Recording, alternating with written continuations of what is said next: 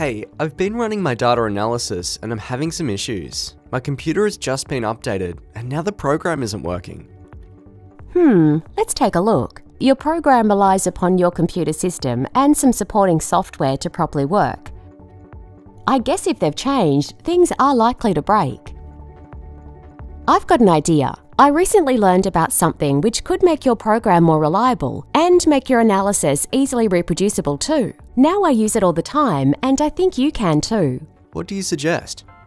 Software containers. What are software containers? Containers are packaged software instructions. They include everything needed to run a program independently of the computer system. Depending on the program, that might include system settings, the programming language it's written in, or code for specific tasks like image processing or genome assembly.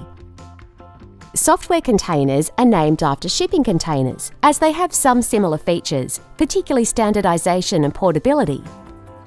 Imagine you have a standard prepared software package that has everything you need to run your workflow and that you can use in any computer. So I could use my software container with any operating system, like Windows, Mac, or Linux? Yes, I use containers all the time because my containerized programs are easy to move from a laptop to a computer or a local or cloud server.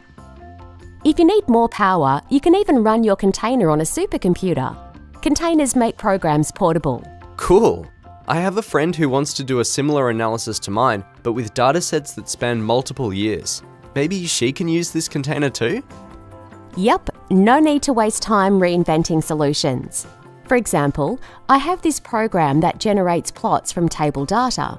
Some of my collaborators had proprietary data that they couldn't share with me, but I could share the container with them to produce their own plots on their computers. I like these containers already. What else are they useful for?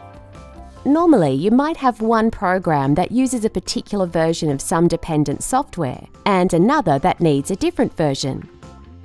But since a container brings everything it needs with it, it avoids conflicting dependencies. You can run multiple containerized programs and they stay completely separate.